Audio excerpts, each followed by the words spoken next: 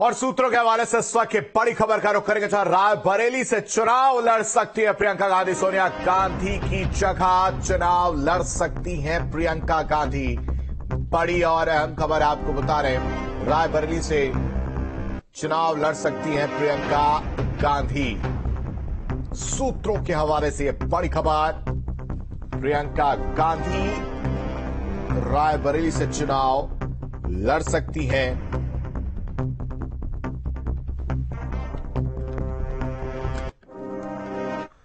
और वहीं प्रियंका गांधी वाड्रा के चुनाव लड़ने पर बीजेपी ने तंज कसा। डिप्टी सीएम केशव प्रसाद मौर्य ने तंज कसा। उन्होंने कहा कि कोई कहीं से भी चुनाव लड़े, जीतेगी तो बीजेपी ही।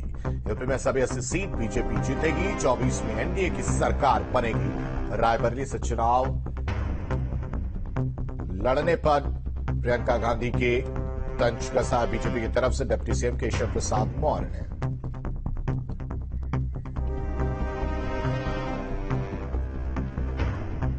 कोई भी लड़ ले जी अस्सी की अस्सी जब जीतेंगे तो लड़े कोई जिसको लड़ना है क्या फ़र्क पड़ता है?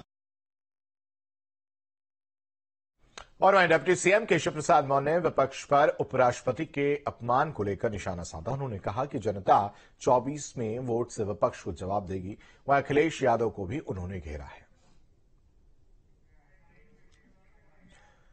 जो विपक्ष है चाहे वो कांग्रेस हो चाहे सपा बसपा टीएमसी जो भी है वो 2024 के होने वाले चुनाव को लेकर के निराशा और हताशा के गर्त में डूब गए हैं। उनको संवैधानिक पदों की मर्यादा का ध्यान नहीं है। कभी एक आदिवासी समाज की बेटी राष्ट्रपति बनती है तो उनका विरोध करते हैं। कभी एक किसान का बेटा देश का उपराष्ट्रपति बनता है तो उनका अपमान करते हैं। एक गरीब माँ बाप का बेटा जो चाय बेचने वाला और पिछड़ी जाति से आने वाला, ऐसे हमारे प्रधानमंत्री श्री नरेंद्र मोदी जी का अपमान करते हैं।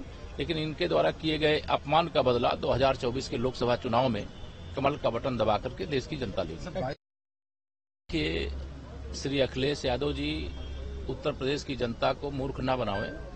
श्री स्वामी प्रसाद मौर्य जी जो भी बोलते हैं उल्टे सीधे बयान वह जो देते हैं वो श्री अखिलेश यादव जी का लिखा हुआ पढ़ते हैं।